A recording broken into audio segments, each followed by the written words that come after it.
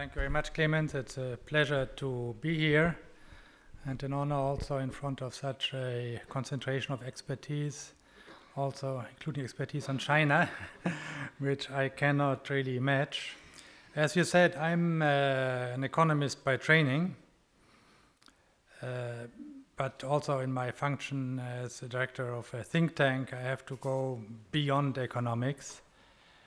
And of course, relations between the EU and China are no longer just about economics. And uh, you will see that in my presentation, where I try to have still a focus on the economic side, but you will see towards the end how other issues uh, intrude. And uh, I think this is uh, very important to keep in mind uh, since it's a very complex relationship between the two largest, or the two among the three largest uh, global economies, where of course economics is important, but not always uh, the main driver, especially uh, if you look at, of course, the other leg of this triangle, the US China relationship, which I will not discuss today, um, which is uh, these days apparently driven much more by non economic considerations. So, I would just like to make see, three broad points. The first one, rather short, to remind you that we have been there before.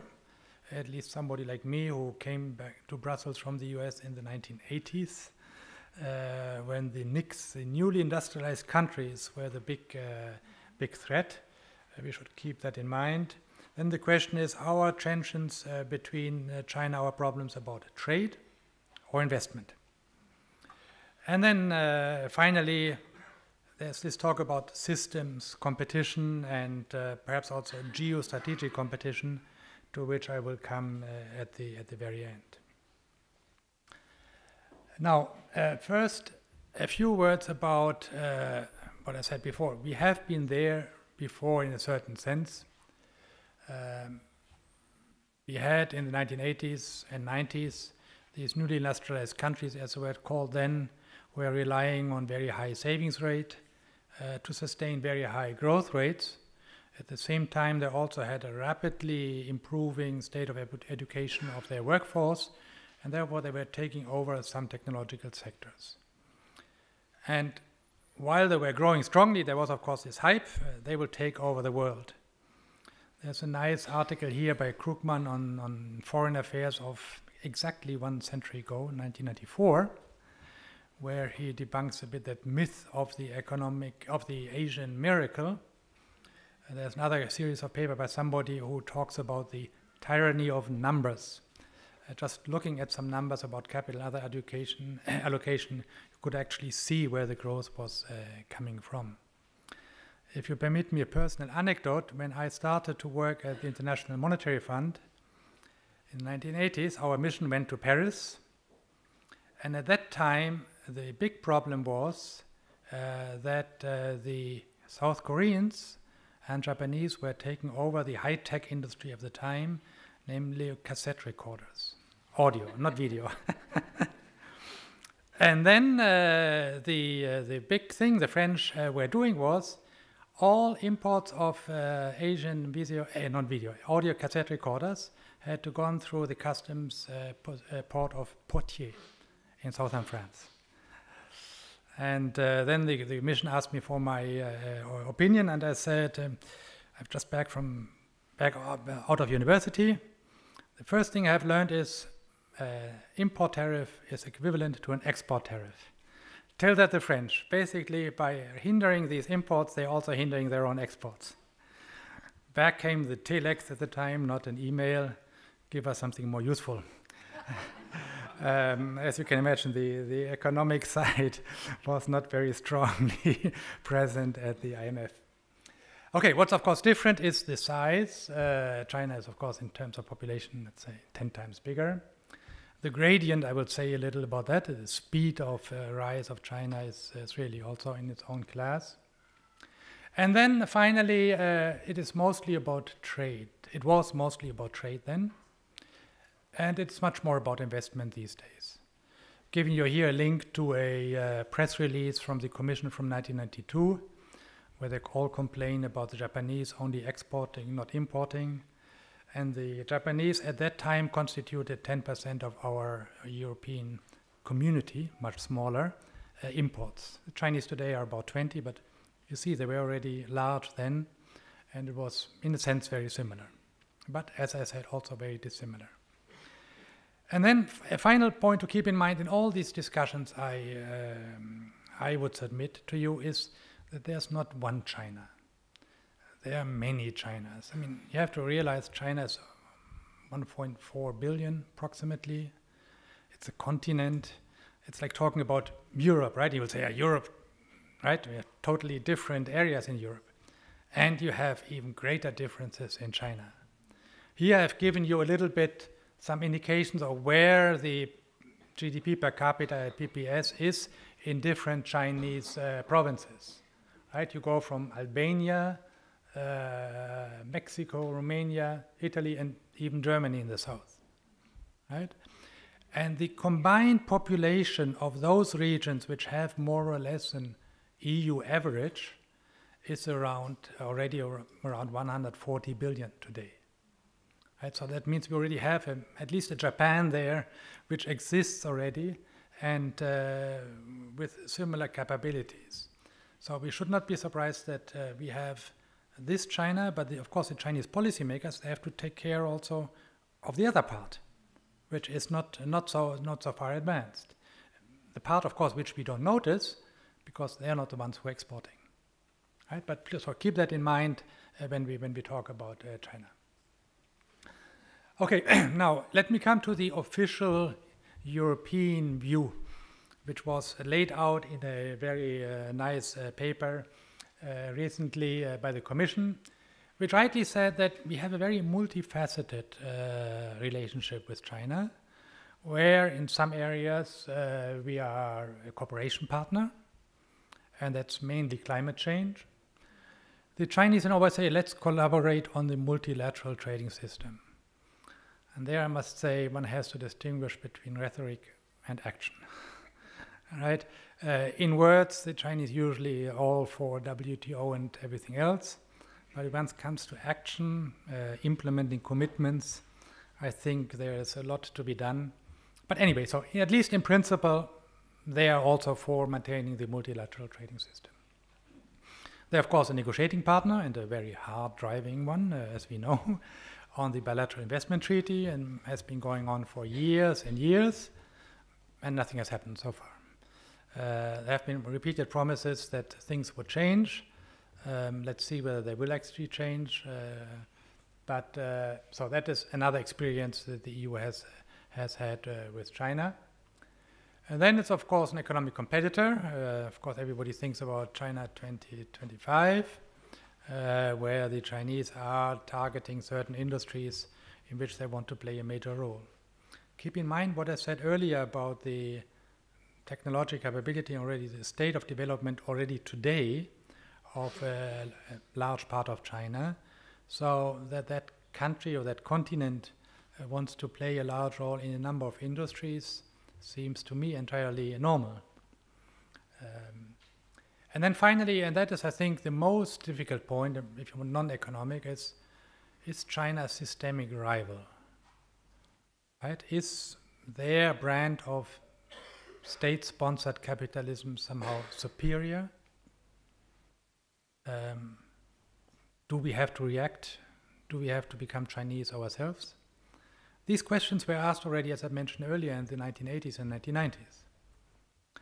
At the time, there was lots of talk about European industrial policy, but in the end, we didn't really do it.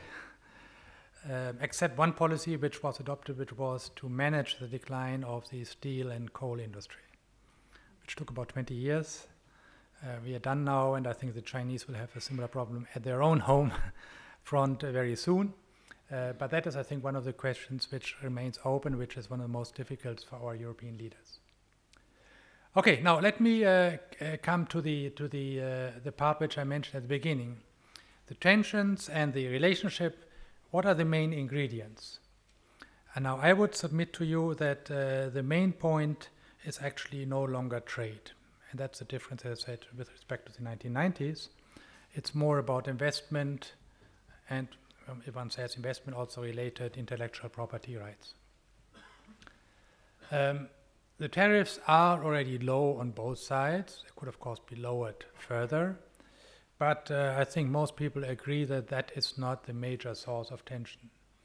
Here I give you a picture from a recent uh, study, a study we did a couple of years ago, where we asked ourselves what would be the economic uh, benefits from a bilateral free trade agreement between China and uh, the EU. It's also telling that this was uh, something which was considered a couple of years ago and today seems rather remote. And you see that the Chinese have already adjusted a lot their tariffs, especially, of course, since they enter into WTO.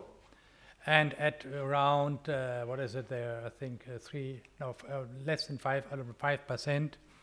Um, that is no longer the, the major issue. Uh, you see here that this is the study which we did.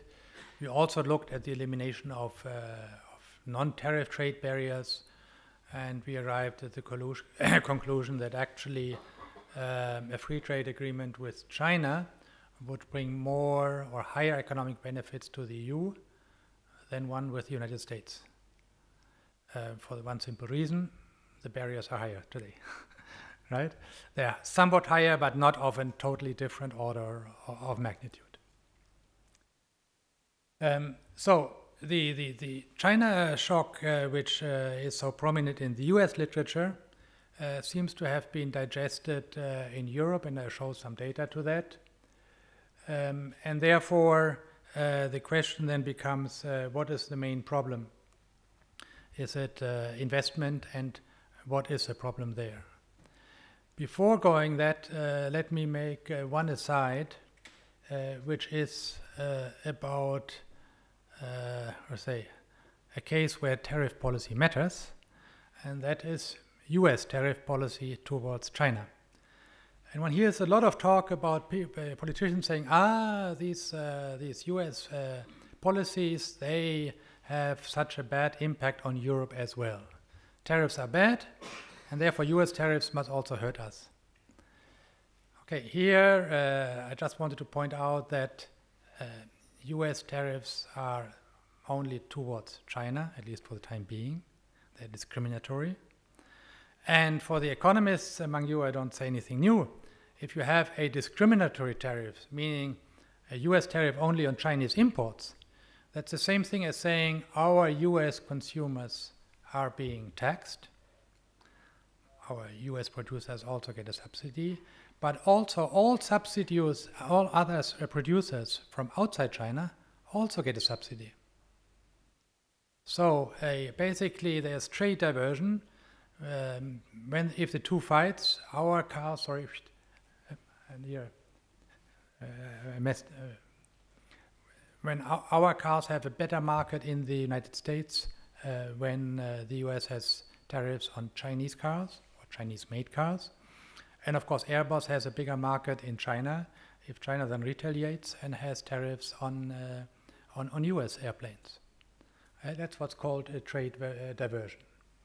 For the economics, uh, economists, again, among yourself, um, if you think it as a negative customs union, those who know about the literature on customs union, there's a literature on the 50, 50s and 60s which said a customs union, especially the European customs union, could have a negative impact on the rest of the world because it fosters intertrade at the expense of trade with the rest of the world. Now here we have exactly the opposite, right? They are eliminating, they are hindering intertrade, and that fosters trade with the rest of the world, who will then gain.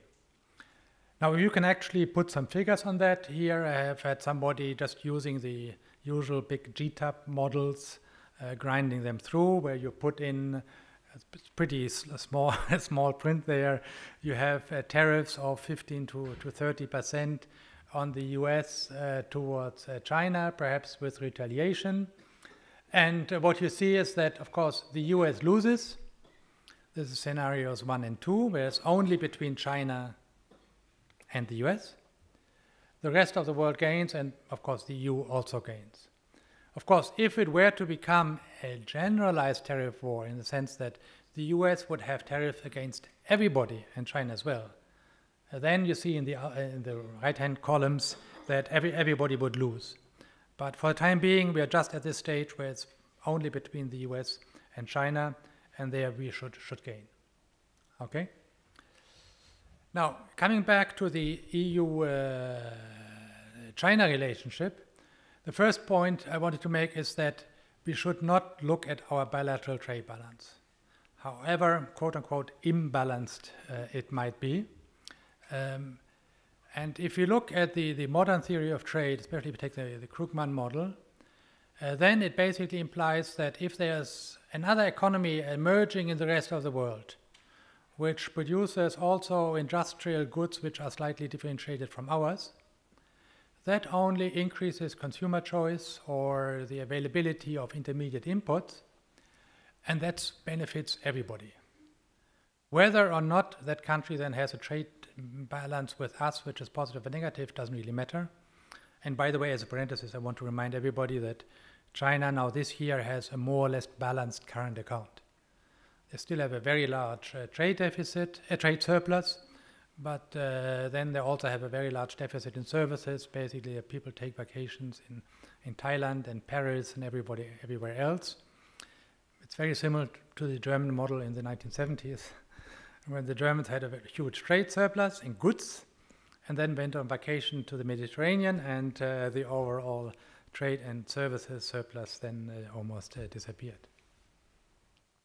And there's also very little evidence that China somehow displaced European producers so that they had to lower prices, which would have been, in terms of trade, a loss for, the, uh, for, uh, for, Europe.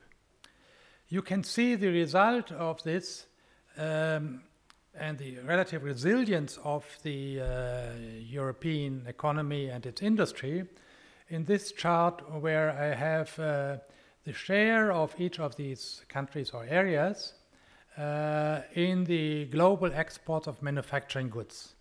So oil and food is, is taken out. And you see, of course, this uh, light green line, which goes up. You know already without being able to read that that is China.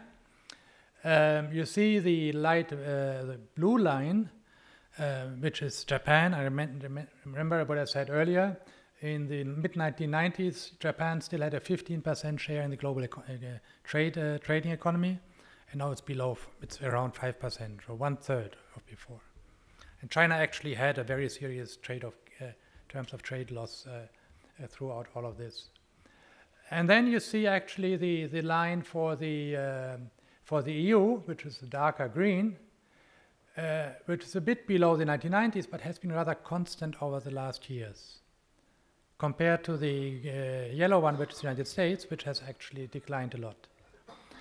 So while the US has, on average, has higher growth rate, European exporters or European industry has actually more success on, on the global market and has kept its position uh, better uh, than, uh, than those of the United States.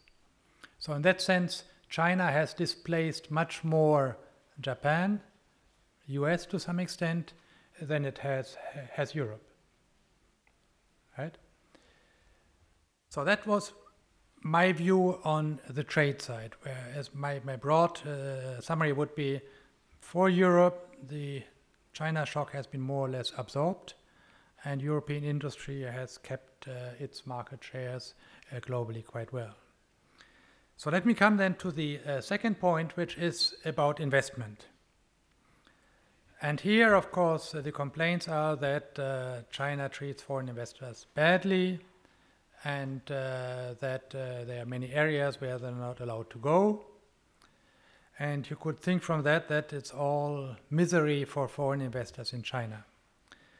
Therefore, I invite you to look at uh, these are the rates of return uh, in China of three types of enterprises. Uh, the SOEs, state owned enterprises, blue on the bottom. Uh, then the Chinese uh, private domestic enterprises, this orange red one, which is at the top. And then the, the gray ones, which are FDI, I mean foreign, foreign uh, owned enterprises. So first of all, you see what the rate of return on SOEs is very low, as one would expect. And uh, the rate of return on of foreign enterprise is somewhat lower than, uh, than domestic ones. But it is, uh, let's say, pretty respectable, 8%, and uh, much higher than the SOEs. So that's the first piece of evidence that uh, foreign enterprises in China are not really treated that badly. That is all foreign enterprises uh, in China from a domestic Chinese point of view. Um, then you can also ask now, how about our European enterprises in China, how they're doing there? And here I propose just to look at the rate of return which we have from European statistics on uh, what the return is on European FDI in different areas of the world. On the left, you have the overall average for extra EU 28. Then you have Canada. Then you have the United States, where our enterprises earn not even 3%. Um, and then we have China, where it is 10%. On average, over three years there, I could take a longer time average, wouldn't change much. So it is not the case that uh, our enterprises go there and then lose money. Um, they they, they, they still make a nice profits. And uh, the impression one gets is that uh, the, the main complaint is we would like to make even more profits, basically. Uh, there are complaints, and they are probably all true, that uh, the Chinese administration probably treats domestic enterprises um, to say, less badly than it treats uh, foreign enterprises. And uh, there are certainly cases where there's pressure from the government or various levels of the government uh, on uh, foreign enterprises to reveal their intellectual property. But I find it a misnomer to call that a, th- a forced transfer. Because after all, nobody is forced to go to China talk to leaders, business leaders, say, what do you mean forced? This is the biggest market in the world. We cannot be outside. As an economist, just say, tough choice, right? You can stay still outside and then you keep your IP, or you go inside and make a compromise. The record so far is that even if you compromise, uh, your return is pretty good, right? But uh, okay, they want, of course, uh, they have their cake and eat it. Um, that is just uh, not possible. It would be nice if the Chinese were different, but I think uh, for the time being we have to accept are where, the, where, the, the way they are. Okay, so that's I would say there are certainly problems on the uh, investment side, but one should keep them in perspective.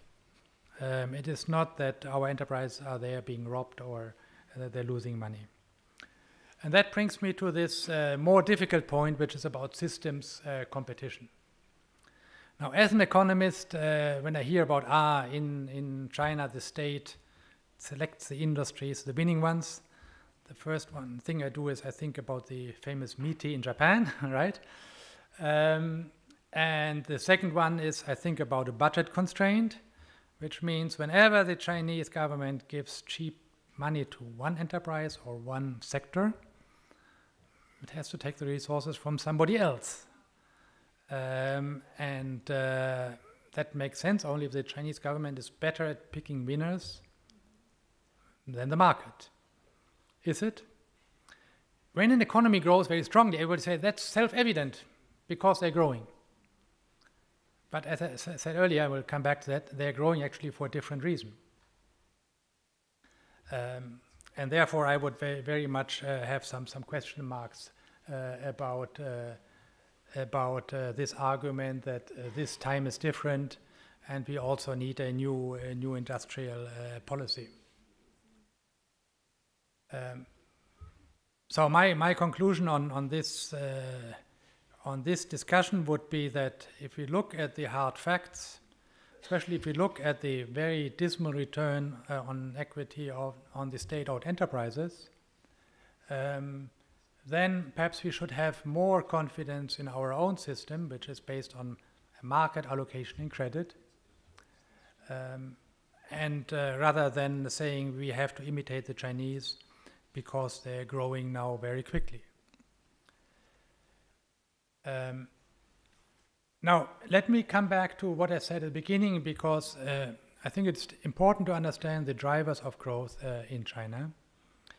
Because I always come back to this politicians see them growing quickly, and therefore they must be doing something better, right? And the, the thing that comes to mind is easily industrial policy. And that's why it's important uh, to, to keep in mind uh, why they, they might be growing more. And I like to say that China is basically the Asian model squared. I mean, twice as fast uh, than the others, twice as intensive. Um, it has even higher savings rate than, than Japan, and it has made incredible progress uh, in uh, uh, the level of education of the new generations. And the only break on the speed is that you can basically uh, only educate the new generation adult learning is a theory, but practice is. And among the new generation, so the, the Chinese 25 to 30, there the rate of university graduates is already similar to the European average, around 30 40%. Those who follow a bit the EU policies, uh, um, Europe 2020, our target was a 40% graduation rate for, for, for the 25, I think, to 30 year old the Chinese are already almost there. But of course, it takes very long time before it goes through the population, right? Um, and on physical capital, I will come back to that. Is this is the iron law, at least of standard trade theory, uh, of standard growth theory, that uh, with capital investment, of course, you get initially more growth, but the rates of return decline very, very quickly after a certain point, right? So on uh, uh, human capital. Here I've given you uh, some estimates of the working age percentage of the working age population, which has a university degree.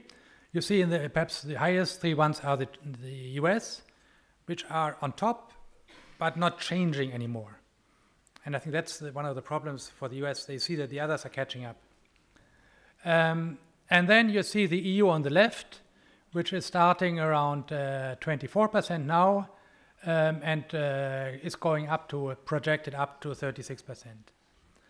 And China is starting at a much lower level, 8%, but it's projected to become uh, 25, 20, 24, 25%.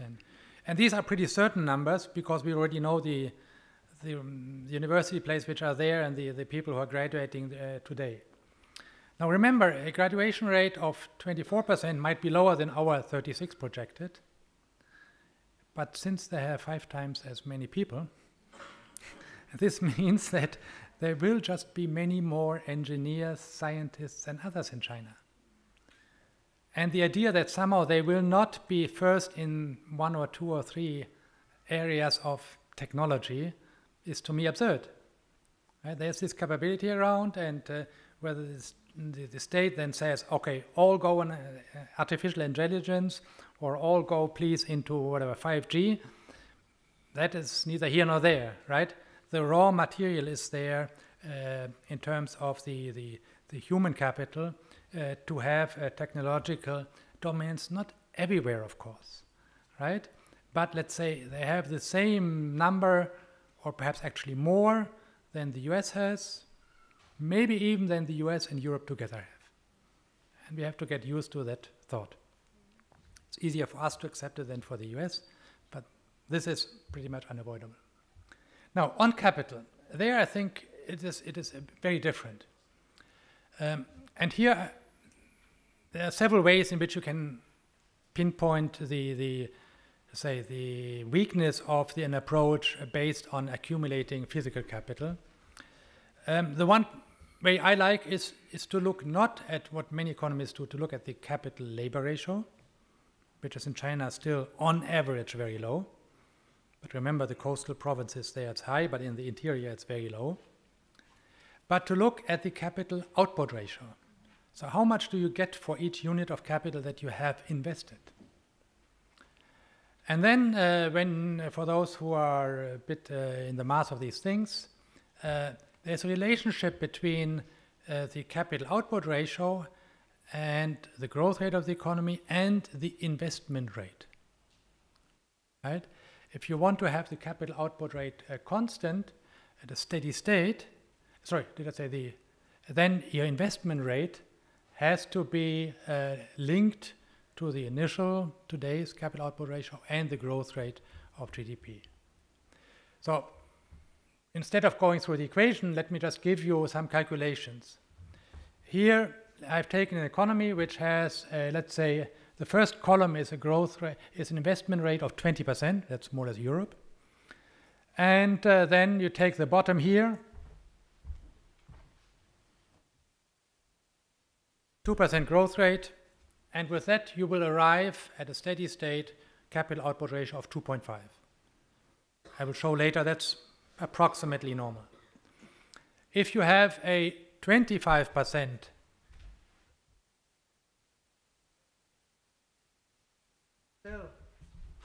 a 2% growth rate, you would go to a capital output ratio of 3, 3%. As a parenthesis, many people uh, uh, say Germany should invest more and should bring its investment rate up to its savings rate. If it did that, it would go above 25. If the growth rate then doesn't go up, and remember, neoclassical theory says higher capital output rate does not change the growth rate, just the level, right? Then it would drive its, uh, its capital output ratio far above acceptable levels. Now let's take China. It had until recently a investment rate uh, to the very right of 45%. I said that is out of bounds of, of any, any normal, normal uh, uh, value. And that is actually sustainable if you have a growth rate of 10%. But if your growth rate goes down to 6%, then you can see how this go up. So you have to see the investment rate together with the output, uh, with, with, with the growth rate. Right? And uh, here I show you uh, the, the calculated capital output ratios um, for um, the US. Um, that's the green one. And the US is actually the country which uses its capital most efficiently. Then you see the, uh, whatever, what is called a move, whatever. That's the, the euro, that's the area, which is actually pretty capital intensive, partially because it more manufacturing. And you see it follows the US trend, but it has a higher capital output ratio, so a, a lower return on capital. Therefore, by the way, it makes sense to bring capital from the euro area to the United States, right? Because there it's more, the rate of return is higher, macroeconomically speaking. And then we have on top the, the blue line, which was Japan. Oh, is still Japan, right? And you see uh, how in the 1990s they kept on investing, investing as the growth rate fell, and everybody told you, yes, invest more so the, you get your growth up. But as I said earlier, theory says you just get your level up.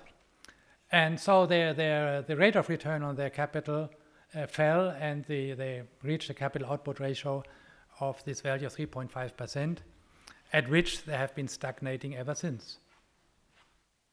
And the interesting part about uh, uh, China is how it took off after the stimulus in 2007 8. Right? Until then, nothing abnormal about China. But then comes the big, big crisis. Chinese uh, authorities say, cement, right? Uh, they had um, produced one half of the global cement production and steel inside, so bridges, roads, tunnels, everything. Um, and the capital output ratio went up. Right? And it's now Japanese levels. With Japanese growth rates to follow?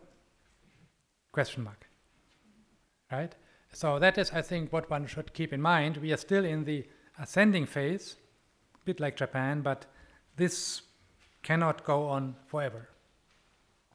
And therefore, I would be more relaxed about the uh, future growth opportunity or trends in, in China. Keep in mind that once you have built all airports, roads, whatever, trains, and so on, then you can go home and investment can drop to zero. And what happens if your savings still stay high? You'll have a huge current account surplus. Right? So all of what this, this excess building today does, it postpones the problem to a future. Right? They're still opening new airports in Beijing and uh, right, but that will come to an end uh, sooner or later.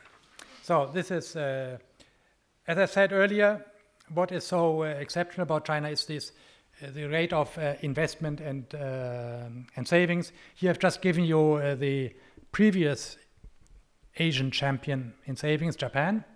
That's the yellow and and reddish line. Savings investment rates both going down savings rate usually higher, current account surplus all the time, but just slowly declining. And in China, you see this was above 50%, now 45, 40%. This is still way off uh, anything uh, we have seen uh, before. So actually, I had in the in the version which I sent, which apparently didn't make it here, uh, some data also on another uh, way to uh, discuss the same issue uh, which is uh, to look at what's called total factor productivity growth. Um, and if you want to, and also to look at the sources of growth in China. And if you look at the most uh, authoritative estimates of uh, where the growth rates of China are coming from, um, then you see that mostly it is 80 90% capital deepening and only very little uh, total factor productivity. Some estimates are actually saying that since 2014, TFP growth has been negative. But among the Chinese specialists, there's huge discussion about this. Some accept official Chinese statistics, others don't. So uh, I, I, leave you the choice between having China already entered negative TFP growth or very slow positive one. Right? That is uh, what the what the data tell us. I also wanted to show you, uh, again, apologies, it's not on here, um, something about uh, this, um, um, maybe it is here, let me just see. Yeah, okay, something must be here. Um, on uh, the more strategic aspects, which are very much discussed here in, uh, uh, in Brussels, which is this Belt and Road uh, initiative. This is very difficult for an economist to talk about because you cannot really see the economic content. Um, maybe our Chinese experts here can enlighten us, uh, us later. Now, my summary would be that most of the countries which are identified on the Belt and Road are actually rather poor. They have very little economic uh, um, um, importance today and they have very large governance problems. Um, and the second observation is that usually, if you want to buy the allegiance of these countries, as long as you new money is flowing in, you get them. But when the new money flow stops, and you want maybe some interest back, then the friendship stops. I think the Americans have made that experience several times. Um, and I think European powers also. So I, I wouldn't be uh, so uh, so concerned about this. Um, and then, of course, finally, there's this big hole in in the in the Belt and Road Initiative, which is India, right? Which does not participate, but which is the only real economy between us and and China, uh, which actually has decent growth rates now and uh, and uh, not a bad performing ex uh, external sector.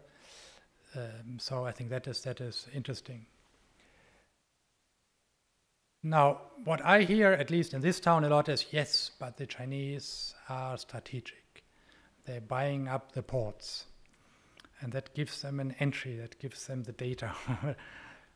but if you look at it, I always like to. Uh, my colleagues have actually done it in more detail. It's much less sinister than than it, uh, than it appears to some.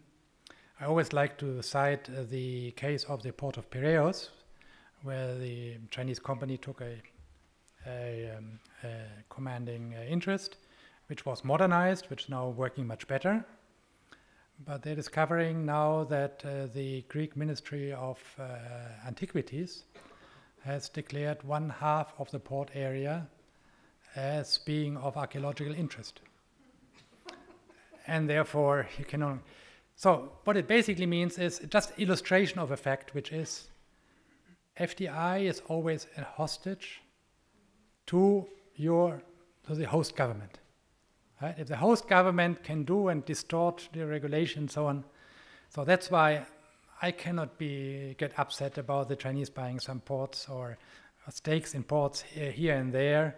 Um, we in Europe still determine the overall regulatory framework, which is compet- competition and openness, and therefore my advice to those who are so security minded uh, would be to uh, to keep quiet, and if if you want to have any offensive counter strategy, we should have we should strengthen our uh, ties with India. So my conclusion about uh, uh, uh EU China policy is that uh, we shouldn't be afraid of, of competition. Um, the idea of actually going the opposite way of what is politically now feasible, namely FTA with China, would I would say should remain on the table. On investment, uh, there's really much ado about very little inbound investment uh, is really, really not that important. Uh, and outbound investment to China, of course, they are legitimate grievances, uh, but uh, as I said earlier, our enterprises are anyway doing not so badly, and therefore, all considered, I would say this is an economic relationship where both sides gain. Uh, certainly, we as well and there's no reason, in my view, to be so much uh, afraid about the security aspects. We can perhaps talk later about uh, all these concerns about cybersecurity and so on. I have left them out for the time being. Um, but there again, I would say this is not something where the EU should do something whatever against China, but where the EU needs to get its act together internally and once we are internally prepared to have a really integrated telecommunications and cyber market, uh, then I think many problems will become much more manageable. Thank you very much.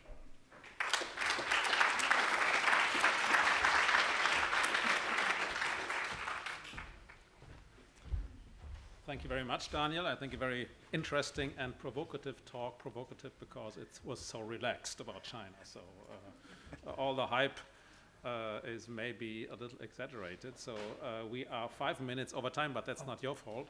Um, uh, we should still take some comments or questions. Please. Mike's coming.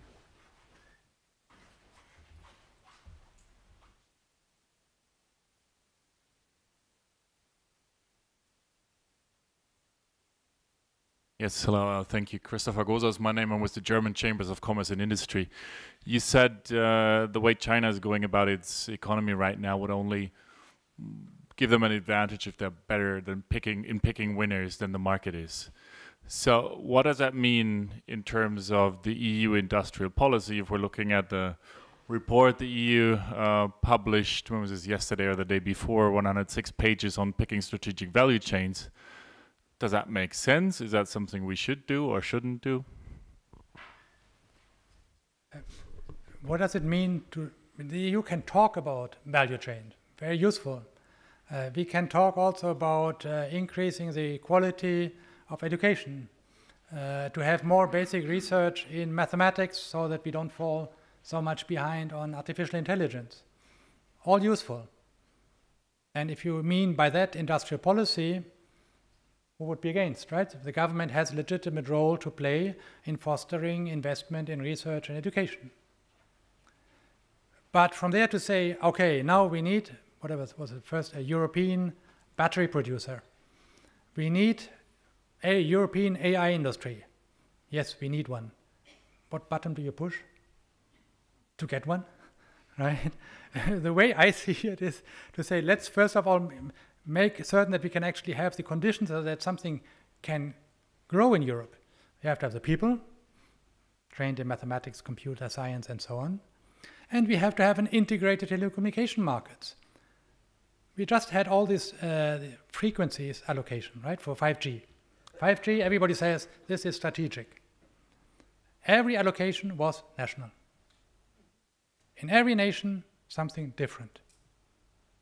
Right? All our co uh, companies are national.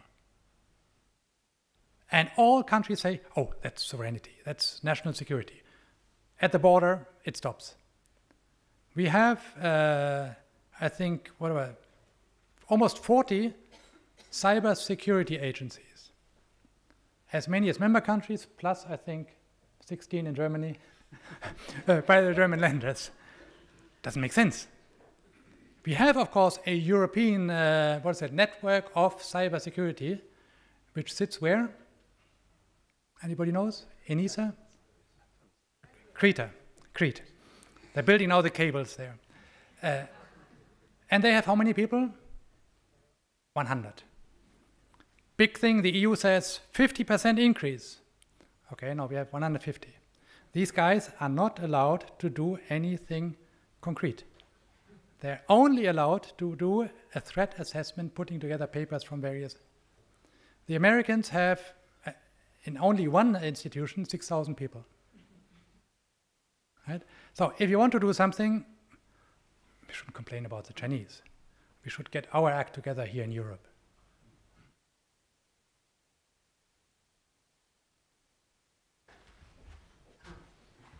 Daniel, I found very reassuring that in your presentation you did not demonize China and somehow therefore gave the message we uh, don't have to be so concerned. I think that's a good message. But I think uh, in your presentation you might have missed some key points which explains why we have this very controversial uh, discussion at the moment with China. And I think this is very much linked to the fourth industrial revolution and to the fact that we have a competition about future innovations and about the future of setting standards and rules for the international system. And the fourth industrial revolution, what is it? It is to develop artificial intelligence, roboti robotics, all the seven technologies which are linked to this development of the future. And there I think we have to look to China differently than you maybe might have presented us with a bit more traditional economic thinking.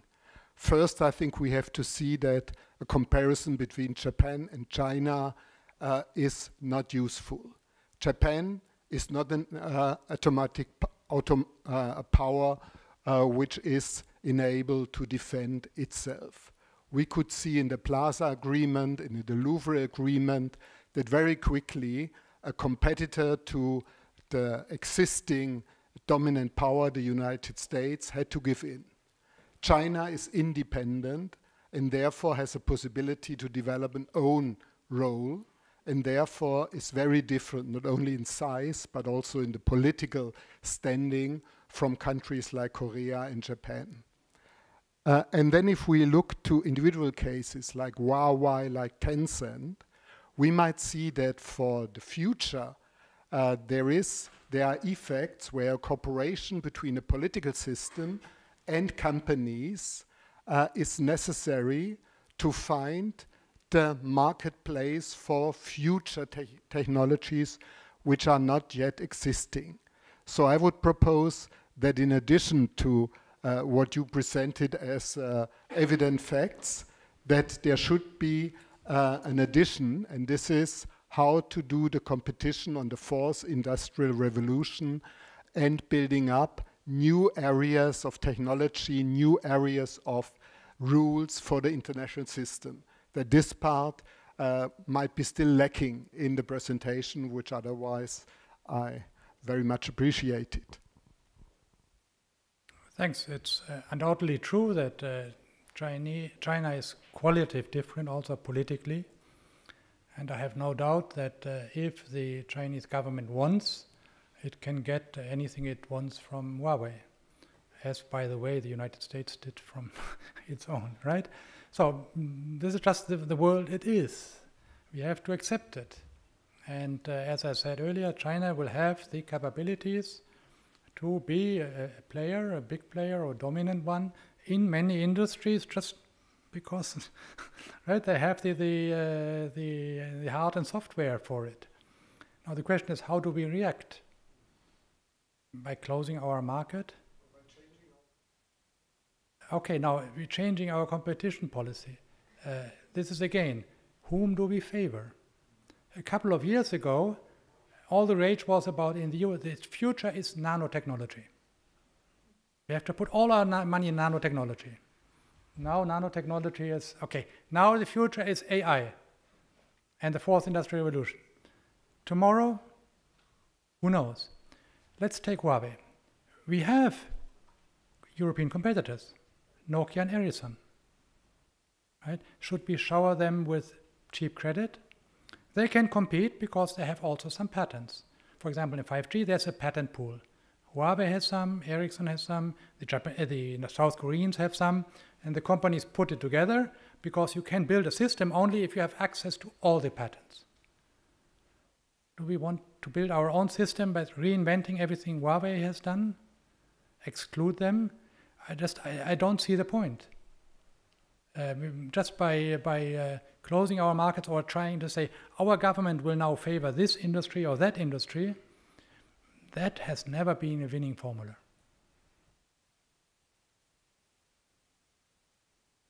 Good. Last question, please. Yes, uh, Ulrich Ladurner, the Zeit, uh, German weekly paper.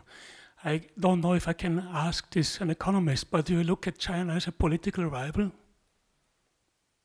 Uh, no. But this is the view, which is, but it's an autocratic regime. It Is this, has this of any, is this of any consideration in your economic analysis? Uh, no, I mean, yes and no. Let me put uh, this one thing. Um, uh, where are we here? Um, China is not a nice regime, right? And has recently, in my view, gone backwards. I think it had was, for me, on a nice, there was a 13th plenum with an emphasis on, on rule of law, and this has all been rolled back. Again, that's a fact of life which we cannot really change.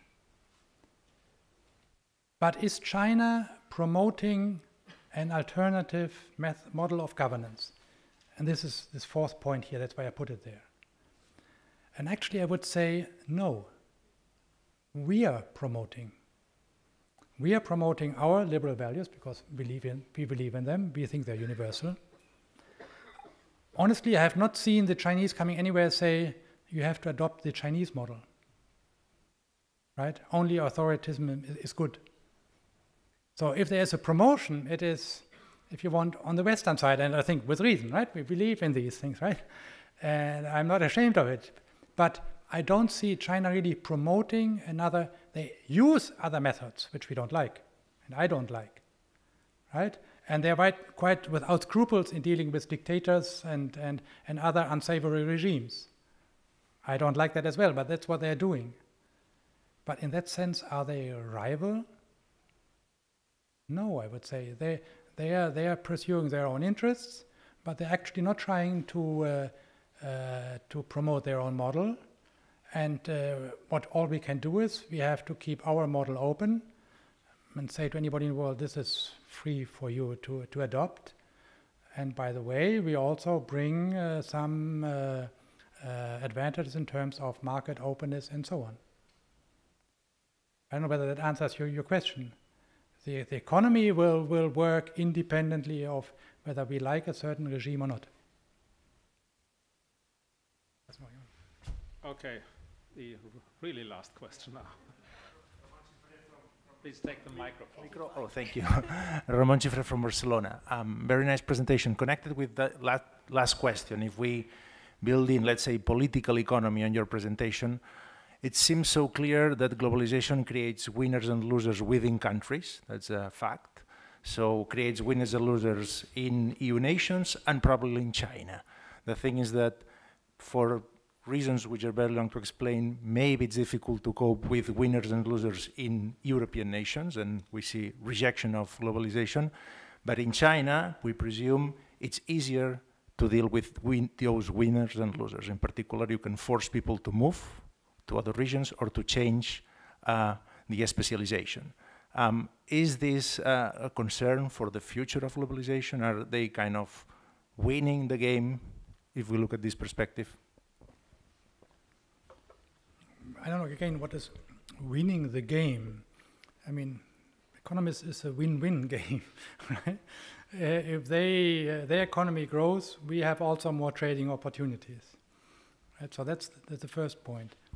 Winners and losers, yes, actually, we have some difficulties. Actually, I would say in Europe, Clemens, we have also done some research, I think, the, uh, um, the perception, it's not like the United States.